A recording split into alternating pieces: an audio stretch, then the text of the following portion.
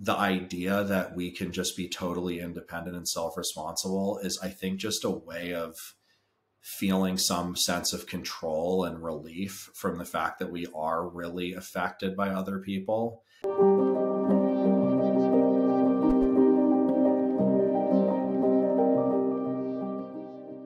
I thought we'd just start with um, you telling me a little bit about your background what what you've been doing, your road to getting to where you are now, and what you're doing now. Sure. So I, I never know where to start this story, but I guess I'll start it with I, I find the transition between my old self and, and this road is probably the best place, which is uh, I followed in my little brother's footsteps and became a professional poker player. Um, I had one normal job out of college, which has been my really only normal job in my entire life. Um, and then I followed in my little brother's footsteps and became a professional poker player. And they tried to teach me how to make a living as a gambler. And I pretty quickly realized, which I think is like a principle of life, that there's the way that you think something is going to be, sort of the glamorous version of uh, what you think is going to be your experience of something, and then the reality of it, which is much, you know, more of a grind and much messier. And it occurred to me pretty quickly that, like, okay, if I'm going to make a living as a professional poker player, I actually have to study poker math and poker game theory a lot of hours a day do I care about games that much? Right. And I don't mean that as like a judgment. I think that's a perfectly cool way to make a living, like strategy games, all that kind of stuff, I think is really cool. But I just was like, no, I, I don't care about games that much. So I had this kind of what do I care about? Um, what do I actually, it was like a process thing. What do I actually like doing for the sake of doing it? And the answer to that was, the same as I think many people in the field of coaching or therapy, how they answer that question, which is I like talking to people about what's real for them. And then I had kids. Uh, 2016, my first son was born, and I started teaching this class, Baby Proofing Your Relationship, at a nonprofit in San Francisco. And um, that was kind of a side thing. Mostly, I was just full time coaching. And I did that, you know, I got kind of in that mode of like, what do you have to do to take care of your family? Right. Like starting out in coaching, I was very much oriented toward the dreams, right? What am I building? What do I want to create? Like, kind of more focused on myself. And then I became much more focused on being a dad and the energy of coaching and therapy and the energy of being a father can actually overlap quite a bit. I think, just in how you have to, you know, we say hold space for people, you know, like just hold that grounded, attuned, solid place for both my children and my clients. And I hit this moment where I was having a conversation with one of my friends, and he was like, you know, we're very different. I know I'm like an entrepreneur business person, but for me, if I were you, I just think what's the best product you have? Like what's the thing that you've the most developed that people want? And that was baby proofing your relationship. And so uh, my friend cameron and i who had produced three master classes made this kind of master class style class together on demand class. And since then i've basically been working on that right? Trying to work in the field of romantic relationships for parents of young children. That's basically where I'm at is trying to build that and figure out what new parents and parents of young kids want uh, in terms of relationship support because we know it's a big problem. It's not a mystery. Like the veil has been lifted. Most couples suffer tremendously after having kids, but you're in a weird period of time where you know, where you don't have a lot of bandwidth to work on your relationship. And when you're faced with that choice between working on your relationship and having an hour of relaxing time or fun with your partner or just watching a show, like most people choose the latter. what can I bring to the table that's going to support people during this time. So, focusing on uh, the baby proofing your relationship with couples. So, what I got is after having a child, it takes up so much bandwidth just to be a parent that and that's a specific bandwidth that's that's taking care of another person that when you any free time you do have really it sounds like and correct me if i'm wrong that um, focusing that spare time that you have on yet another relationship is all the more exhausting but that's but the relationship really needs that focus um, on the other person. And but the propensity is to take care of yourself just to have some me time. Yeah that's right that's right. It's like you're so and everyone's experience is different but i think the average is just you're so threadbare from the demands both mental and physical of parenting that you know you don't even sometimes you don't even really feel like you have a self from which to connect to another person right? Like every part of your identity has been um, dominated by the parent identity. And so the idea of then going from that to being a partner feels impossible you know without some time to actually take care of yourself and find some sense of self again. And then there's not even enough time for that. So then there's certainly not enough time to connect with your partner. And you know you just the disc it's so easy to become super disconnected. How's the relationship suffer? Is it so let me come at this a different way. So the way i'm imagining it is is all that attention's on the child and is one of the partners or both partners feeling like they're not getting enough attention? How, how does the relationship suffer from that loss? Yeah i think there's a number of different possibilities. I think like in the most cliche of the archetypes if there's a biological mom who delivered a baby and is then breastfeeding a baby or primary caregiver for the baby they're giving all of their attention to the kid. And so, whereas partners are used to directing attention from each other, the mom is directing attention toward the baby. The dad is directing attention toward the baby also and sort of the mom, and nothing is really coming back toward the dad. And this can happen with any structure, really. It doesn't have to be a mom or a dad, but who, I think whoever's the primary caregiver, and often at the very beginning, there kind of has to be a primary caregiver. Most people are not in a financial situation where both people cannot work for some period of time or both people have equal leave or something like that. You know, oftentimes both people go back to work at some point, but sometimes not. Um, and so there's just this feeling of like, there can be this feeling from one partner of like, I don't matter anymore. Um, and so the partner who's primary caregiver wants space, right? Because they're basically attached to this being the entire time and need space, need to get their self back. And the other partners have too much self, too much independence, and don't know who they are in a relationship anymore. And they want that attention. And that can feel really gnarly. That's certainly like a very common pattern. But I think there are lots of different things that happen. I think from more of a neutral perspective, like there's just so much dividing and conquering that you have to do and so much attention that has to be paid to making your family unit function whether that's helping the kids survive and thrive or earning money or taking care of house stuff cleaning whatever it is you know just handling bills and all the stuff that we have to deal with in modern society that you're just so disconnected right it's so easy to get disconnected you can still feel like i love this person so much I don't even know who you are right now. Right. And it can happen so quickly. And then the attempts to reconnect can feel so fraught with pressure, you know, that it doesn't, it like it doesn't go well. You fight. I heard a statistic actually um, from there's a woman named Molly Millwood who wrote, writes about motherhood identity. And she said couples who have kids fight nine times more often than before they had kids. Like that's pretty crazy, you know? So there's just more stuff to fight about. You there's more insecurity each of us has and whether we're doing a good job as a parent and how to be a parent.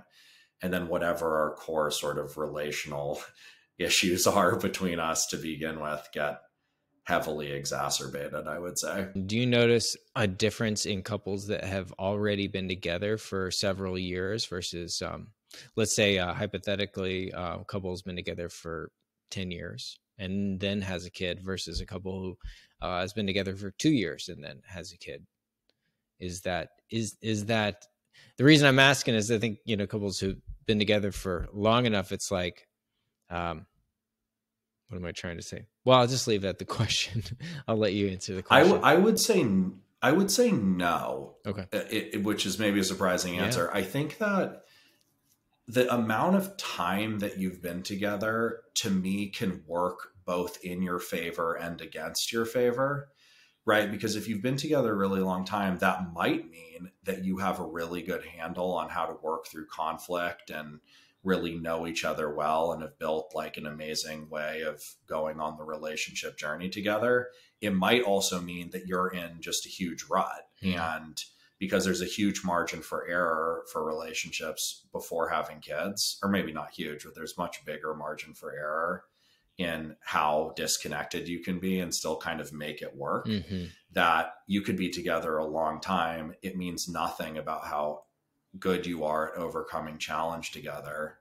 And actually, it's a much bigger disruption to your habits and the way that you've kind of built of how you deal with each other uh, and handle being in a relationship. I think so. It's like kind of like what happened with COVID, right? People were forced to spend way more, t- like the divorce rate skyrocketed, the mm-hmm. breakup rate skyrocketed because people were forced to spend way more time together who had gotten in the habit of like, I go to work, you do this, you go to your whatever, we, you know, and that being together a long time does not necessarily mean you're able to handle challenging transitions together like this is what I think is what's so interesting about having kids and why part of why I chose this time to focus on. Part of why I chose this time is because it's the time that I'm in and that's kind of how it works.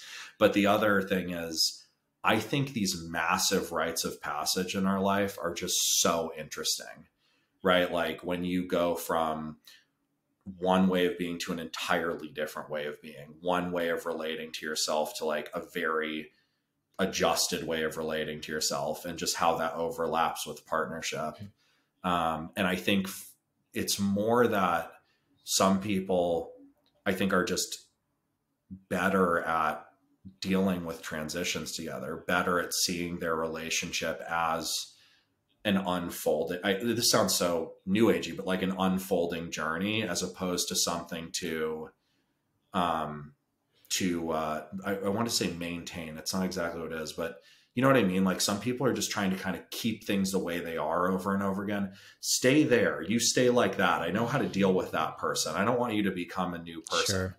But you're forced to become new people when you have kids. And so if you're not able, I think you could maybe couch it in fixed versus growth mindset. Sure. Right. If you're not able to kind of take that growth, you know, unfolding journey mindset, you're kind of effed. And that really doesn't matter exactly as much how long you've been together. Um, you might even have a leg up if you've been together a short amount of time because you haven't got into those habits and expectations of who your partner needs to be. Maybe you're more flexible in how you can handle it. Got it. Yeah, that makes it so right. So in other words, um, it can work against you if you're used to having it easy. yeah, for sure. Yeah, you just you found your way. You know, we all find our ways, right? Yeah. Like we all have our strategies and habits and whatever to kind of make our days. Yeah, we can get through our days, right? I try not to live like that. You know, that I'm just getting through, but to some extent, we all have to have things we can rely on to make life doable. And in relationships, it's no different. We have expectations and ways of relating to each other that we lean on, and those all get exploded uh, yeah. when you have kids. That makes sense. I never thought about that. So how how do you approach the dilemma? Yeah, I've recently split. You know, I'm discovering this as I go, right? Like as I said at the beginning, I don't totally know what people want in this in this place, right? I I know what the problems are and I feel like I have really good solutions to them.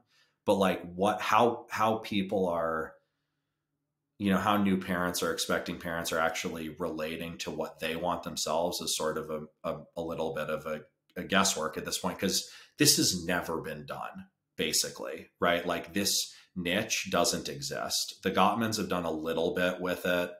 Um, there's been a couple books but mostly this isn't something we've actually looked at even though it's extremely important which is sort of weird a weird cultural thing but in any case all that is to say recently the insight I had was splitting first time expecting parents from people who have at least already one kid in the world. So approaching those as very, very different cohorts. Excuse me. So with expecting parents, I approach it from how I've started to approach it as in the vein of like taking a labor and delivery class, taking a newborn care class, picking, you know, your your doctor or midwife or doula or birth plan, preparing the nursery. Like this is there are things you can prepare for, right? About how this is going to impact your relationship. Similarly to, okay, when the baby's here, I should already know how to change a diaper, right? I should already know something of how to swaddle a kid or, you know, whatever, right? All the things that we learn. I should already know what some of what's probably going to happen in my relationship and have tools of how to handle that. Right. So for the expecting parents, a lot like the biggest issue for parents is division of roles and responsibilities. Like this is the number one thing that people talk about in couples therapy when their parents is like, I'm doing too much, you're not doing enough, I don't feel supported by you. And so one of the things I, I've developed is a system for creating a satisfying family system, right? That's kind of how we refer to it as instead of like, how do we divide up tasks and have an equal amount of tasks? It's how do we make a satisfying and connected and fair, right? Because humans have a hard time not thinking about fairness. We kind of have to just call a spade a spade, right? How do we make a family system that functions like that? And so I've developed this way of going, here are a bunch of different things that you could need to attend to that you're each going to own.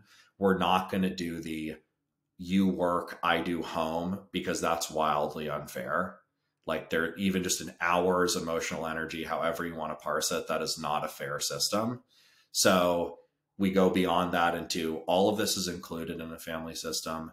Let's make some guesses and then let's have a way of checking in about our guesses, right? Having a family meeting, checking in about our guesses, reorganizing, right? So I have a whole process and I give people an experience of that so then they can do it for themselves as they're going on and set them up for that and then I talk about how I, their identity is going to change, which is a big thing that people don't really understand until they experience it. But you're adding on a whole new parent self when you become a parent. And some people greatly resist this and try to be the same person they always were. And some people get completely consumed by it and lose track of themselves entirely.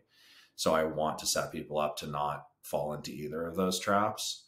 Um, I talk about sex and intimacy, of course, and expectations for having a romantic relationship and what that looks like, and you know the issues that you're going to encounter and how to not lose your relationship. You know, but also respect and honor where each other are at.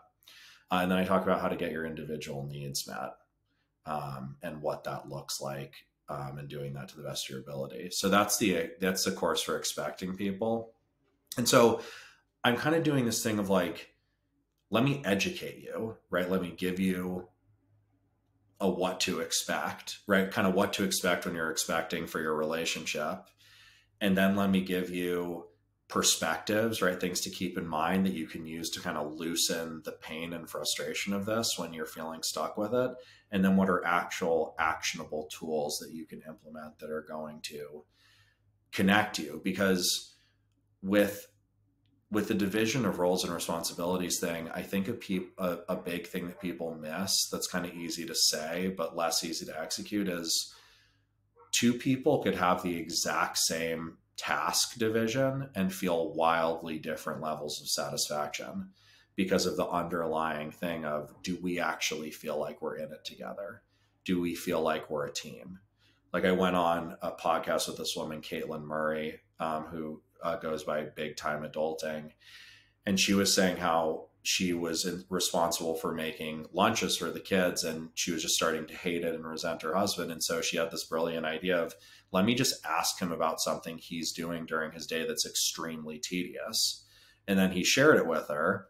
And she was like, Well, that sucks. I wouldn't want to have to do that for the family. Cool, this feels better, right? And there was that sense of like, okay, we're in it together.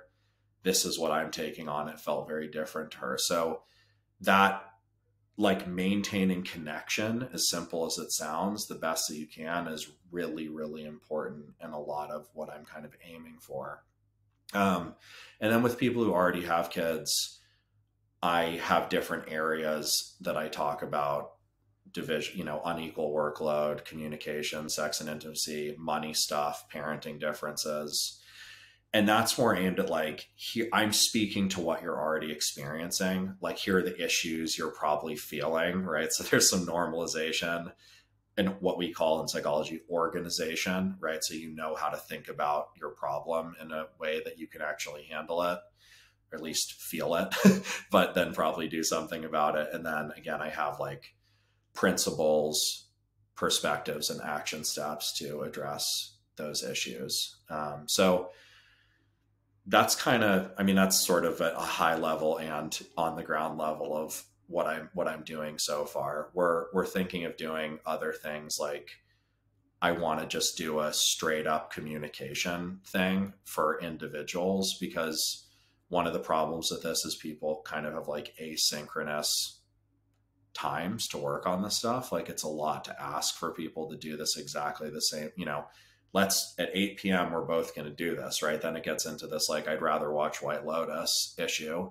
But if you can asynchronously do something that's going to really support you, um, I want to find ways to do that and have a more robust, you know, creating the family system thing. Like there's lots of I'm playing with how to best support people, but that's what I what I've gotten to so far. Excellent.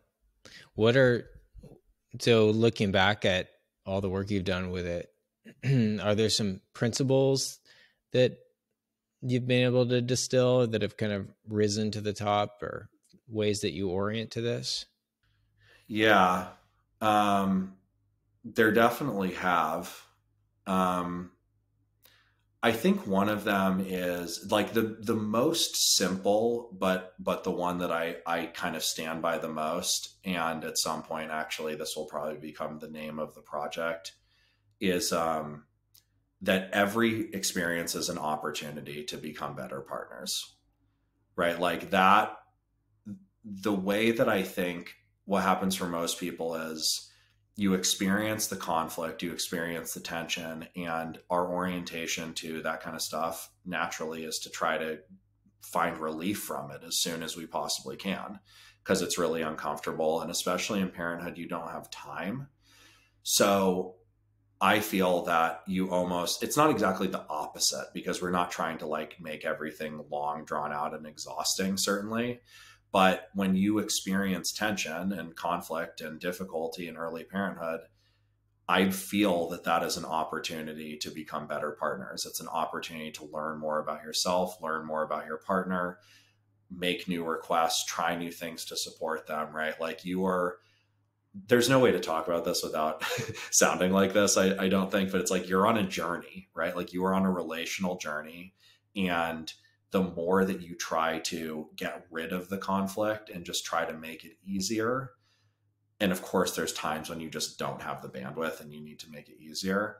But as a principle, the more you try to do that, the more disconnected you're going to, to become. And so, like, number one, it's like every experience is an opportunity to grow together. So, the thing I was referencing before is we were considering changing to grow together because um, that's kind of the fundamental principle of relationships for me like i believe that's what made that's what makes my marriage successful. Like i feel a little sheepish talking about this because it just sounds kind of weird when i'm saying it but like i'm so happily married. Like i'm so so so happy with my relationship. It doesn't mean we don't fight and have gone through periods of utter distress but like what I credit my experience to is that principle more than anything else. That's just like we're in this together. Those places where you feel like your needs are on opposite ends of a spectrum, right? Which happens in every relationship. You're like, I don't know how my need for independence and freedom and your need for merging and closeness go together. And it's like, okay, we got to creatively work on that together, right? Like I credit that view to my relationship happiness. So um, that's that's an important one. I think it's the most important one. I think as kind of a subset of that, just looking at everything is like, how can we be on a team, right? So I'll say with parenting differences, we're on a team. We both want the most well being for our kid, and we disagree on what that means. But if we can kind of take it down to a principles level of like, I want self reliance and I want compassion, and those two things seem to be going at odds at this point, you can kind of get on the same team of like, well, of course, we want our kid to be both self reliant and compassionate. You know, like, how do we instill both of those things? So I talk about that a fair amount. Um, I don't know anything you want to say about those. I I keep going. that I really like that. Um, I yeah, so that that makes me think of it's uh, Joseph Campbell's whole thing. The um, you know the the treasure you seek is in the cave you fear to enter.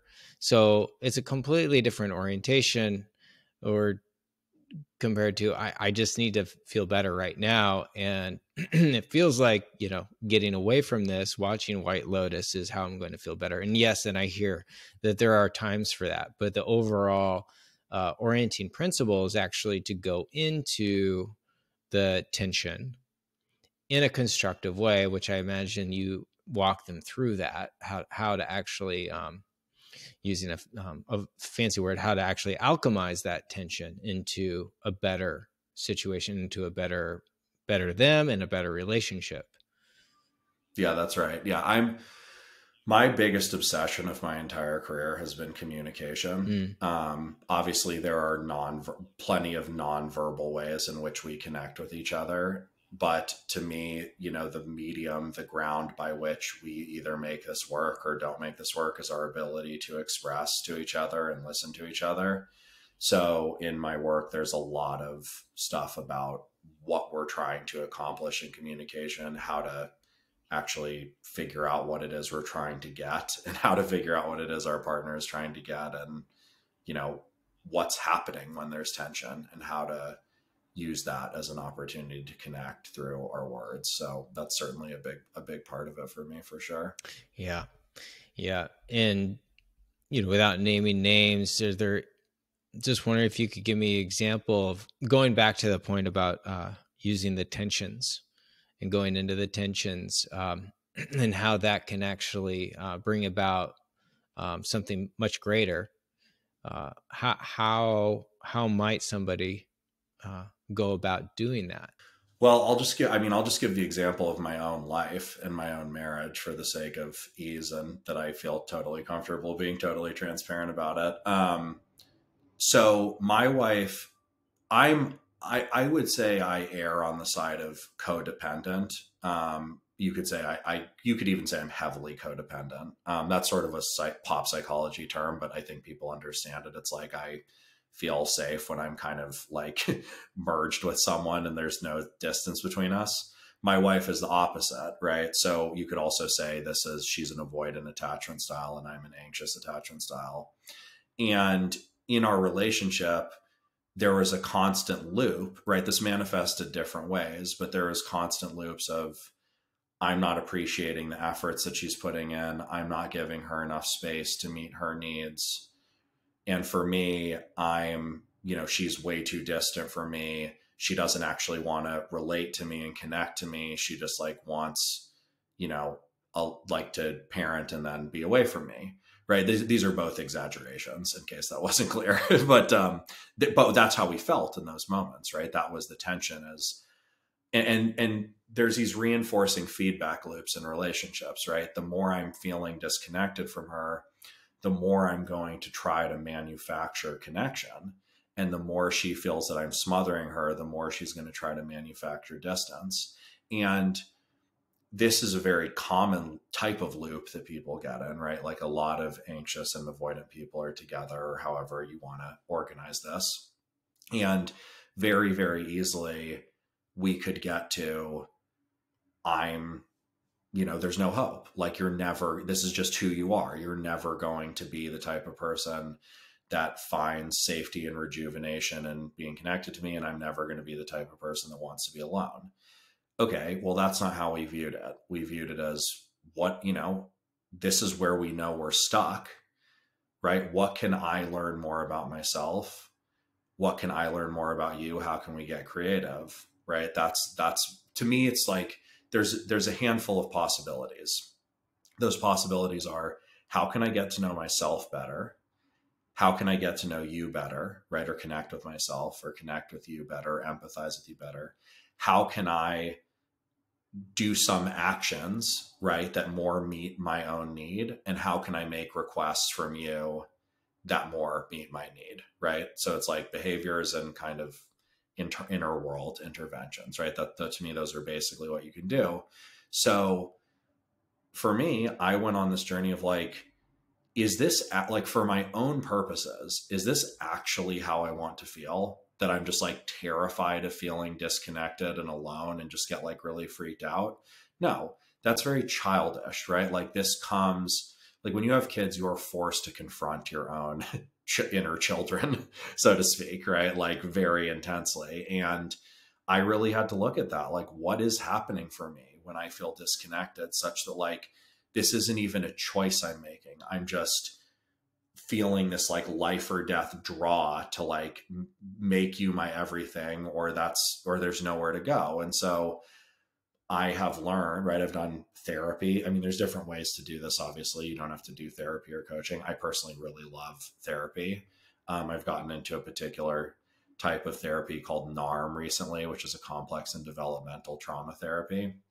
And it's an attachment based therapy and this particular dynamic that I'm talking about with my wife and I is is would be considered an attachment dynamic, meaning about how you relate to your safe places or lack thereof from parenthood or from childhood to relationships to the way you interact with your own children.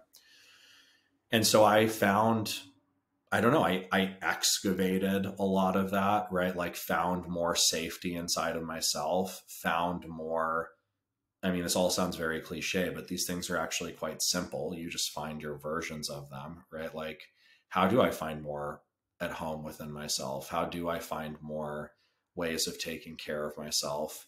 And how can I more directly ask for the things that I'm wanting, right? Like, when you're coming to something as codependently as I was, you try to do it kind of sneakily because you don't want to risk the rejection, right? So it's like, oh, I'm going to get connected to you in kind of a sneaky way.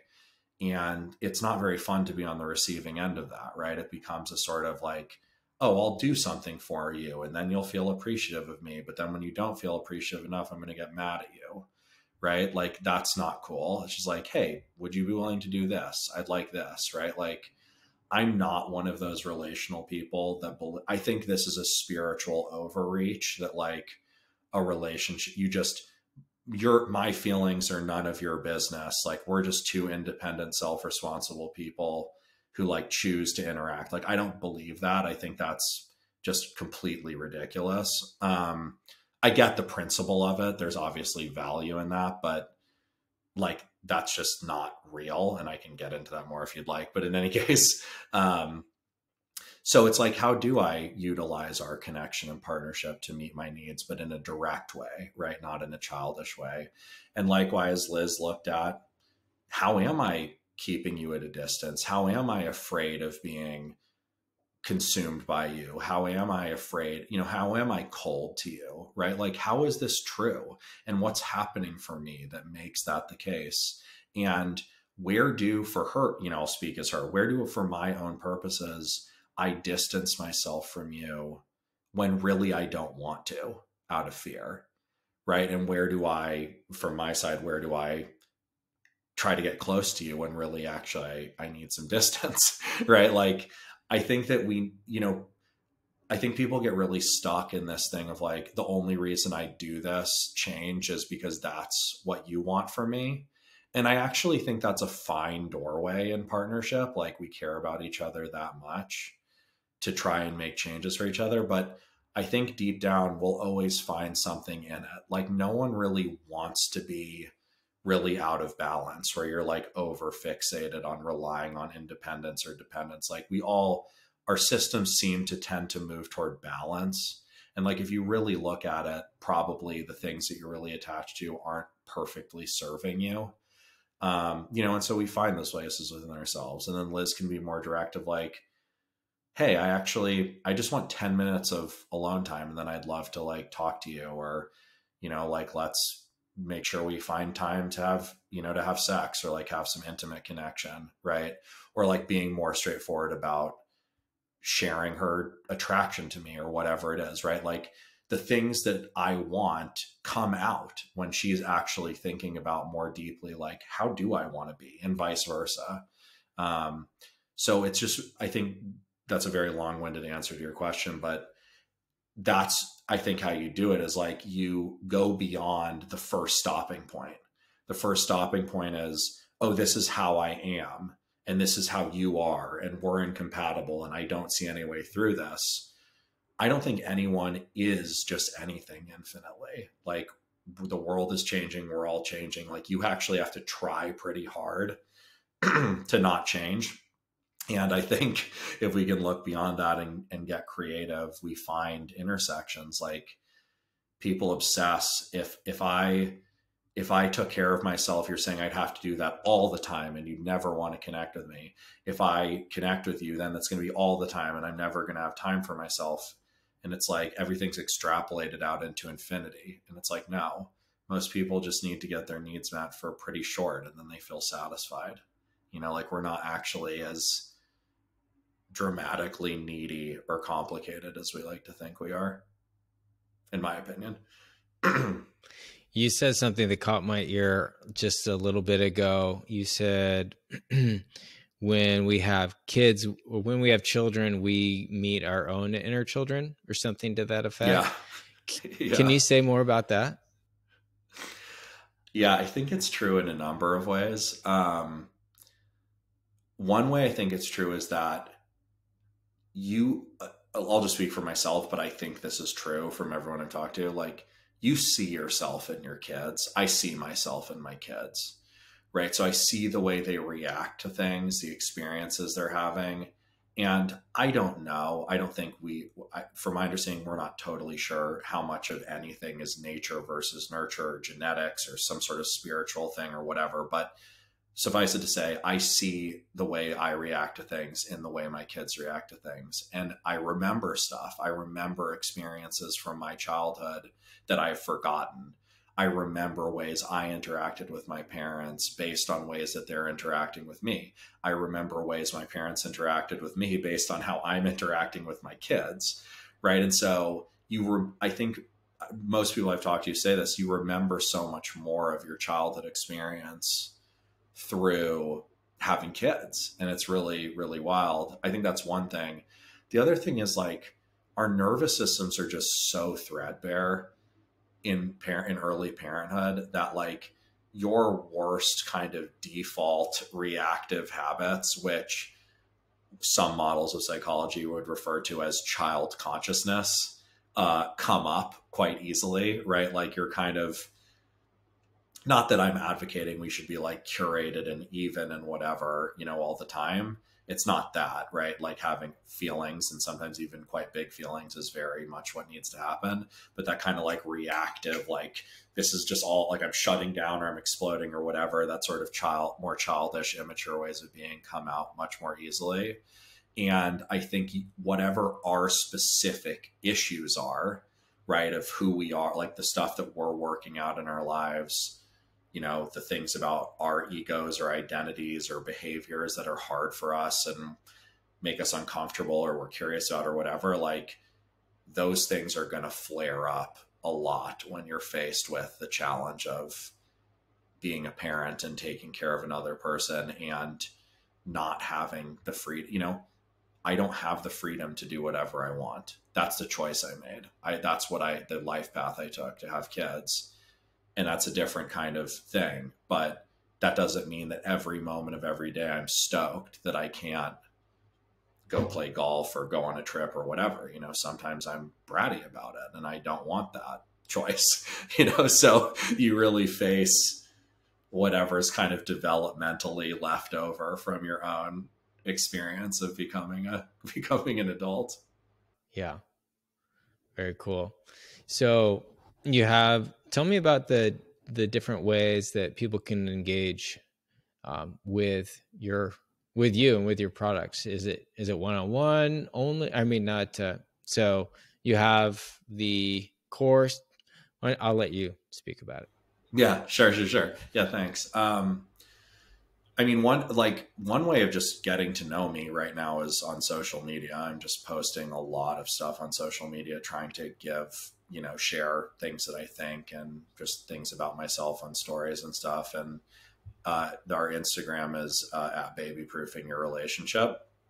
Um, so that's a great way to interact with me and get to know me. Like we also have a mailing list, and every two weeks I send out a newsletter, which is about something that's happened to me or something I've been thinking about in my own life recently. I try to just talk a lot about my own experience, not try to overdo it, but I don't know. I want people to know who I am and know that I know what I'm talking about and they can trust me and everything. So um, I also have appeared on a handful of podcasts and um, our website is babyproofingyourrelationship.com and we have links to a handful of those things. So there's all of that. And then in terms of working with me for um, expecting parents, first time expecting parents, we our course is called Baby Proofing Your Relationship Essential Prep.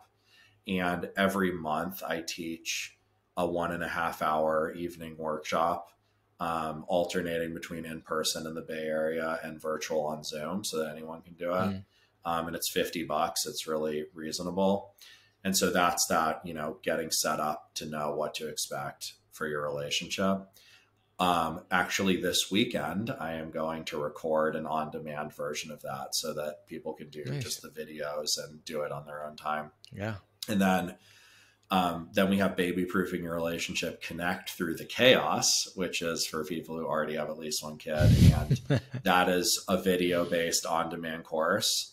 And then also, um, I don't coach anymore, but I've trained, I like organized and modeled the way that I do couples work, um, which is some amount of a synthesis of things I've I've learned along the way, and and some amount just kind of my own thing.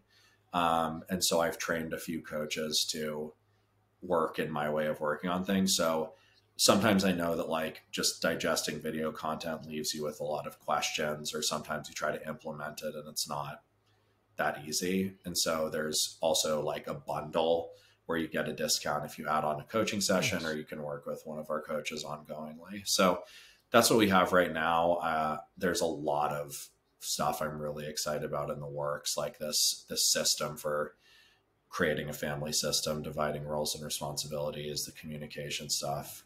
Um, we're actually going to divide the connect through the chaos course into a la carte modules as well, so you can just do the thing as actually problematic for you at the moment, right. right? For like a lot cheaper. Just I just want the sex and intimacy stuff. Like yeah. we're gonna do that as well. So uh, that's what we got so far. That's how people can can reach me and interact with me. Also, I'll say I, I like I used to really not like social media. I've developed kind of a love of interacting with people on social media. Yeah. So like if you message me or comment on any of my videos, like I 100% will respond and have probably like a way too long conversation with you about anything that you're thinking about. So feel free to do that as well. I'm not super precious. I'm not like you can only access me if you pay. Like I I love talking to people. That's why I started here. So awesome. Yeah, that seems very clear. Anything that I missed? Um, I sort of wanted to just comment on the thing I said about the um, the uh, the attachment thing, the spirit that it's a spiritual overreach to say that like we're two self-responsible, independent people. Um, cause I think this is, I think this is a really interesting theory right now. Like I, I think about this a lot, you know, and it's I mean, I could make bio like there's a scientific argument for this, which is basically attachment theory and just our biology and how our nervous system sort of sync up with each other. Like people are not independent. Like it's just people are just not independent of each other. Mm. That's just not true. Mm. And so the way that this gets put on relationships is we've gone like way the other direction of like I I'm totally responsible my, for myself. I'm responsible for my feelings. I'm responsible for my happiness. And like I sort of dip into our relationship when it suits both of us or whatever. And I think that's just not how it works. Um, and I, I I like really caution people against thinking this way, right? Like I need to love myself first before I can love another person is another example of this like relationships are really really messy mm. like the the the principle of i think what's being expressed that is valuable is a relationship is not an agreement to put all your shit on another person mm-hmm. right like that's not what a relationship is and certainly you know the model that i fell into of like of feeling really codependent and just overly attached and like needing safety in another person, that's not a great place from which to do a relationship. But also, I learned that in the the you know the the space of my marriage. Like i faced up against those issues and learned those issues. And i think that the idea that we can just be totally independent and self-responsible is i think just a way of feeling some sense of control and relief from the fact that we are really affected by other people mm-hmm. and especially when we're in a partnered bond with them. And so i just think you know we are finding this balance like when you were saying you know alchemizing tension into into connection like to me this relates to that. It's it's it's not about distancing yourself and it's not about collapsing into another person. It's about honoring that like i am affected by my partner my partner's affected by me they can affect my happiness and make me happier and meet my needs and vice versa. And also if i'm completely dependent on them to meet every need and make me feel good all the time we're not that's not going to work. And if we're completely independent and have and pretending we have no effect on each other and refuse to rely on each other and be influenced by each other at all that's also not going to work. Right? And so i just this is something that's really important to me from like uh, i want to shout it from the rooftops sort of thing of just like please stop. Like i feel like our generation is waiting so long to choose people. Like i think that's totally fine. If you don't want to be in a relationship or like you know you're if you're talking about a life partner you should be patient right? Like you should not just jump into that. But on the other hand, I feel like people want partnership and they're not choosing it because they hear these platitudes like, well, you need to love yourself first, or, you know, you're responsible for your own happiness and you need to be responsible for your feelings. And, you know, like, don't be any, like, keep being yourself in relationship. And like, it's damaging. Yeah. Like, I think it's really damaging. Yeah. It's an idealism. And I get that life's not rarely does it match the idealism and so you got to get a little get a little messy yeah well it's the and it's funny because it's the inverse idealism to you complete me yeah right which is also an idealism yes right like this seems to be what happens we just overcorrect you know it's like oh well i'm going to overcorrect from that to another overcorrection and hopefully we're kind of finding our way to yeah. you know including all the different pieces but um I know. I just I think it's so it so bothers me how much traction that's gained. Um, because like so it causes so much suffering in people I've worked with, and also just a way to beat yourself up. Mm-hmm. Like, oh, I shouldn't have been affected by that, or I don't love myself enough. It's like, whoa, you you deserve to be in a relationship. Like, it's okay. You don't have to be perfect. I think we did it. Yeah. Thank you very much, Aaron. Yeah. Thank you. It was really nice to chat with you.